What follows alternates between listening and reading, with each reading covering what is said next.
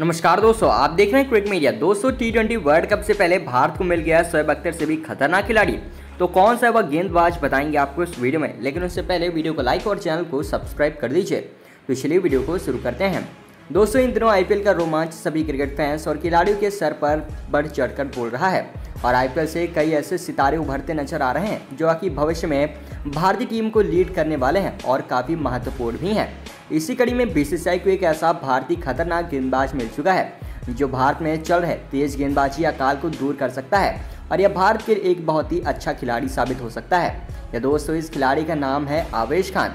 जी हाँ दोस्तों, इस आवेश खान आईपीएल में दिल्ली कैपिटल्स की ओर से खेलते हैं, और प्रदर्शन बहुत ही अच्छा कर रहे हैं। बात करें आवेश खान की तो आवेश खान ने इस सीज़न में दिल्ली कैपिटल्स के लिए शानदार गेंदबाजी की है, और दिल्ली की जीत में उसका भी काफ़ी बड़ा हाथ रहा है।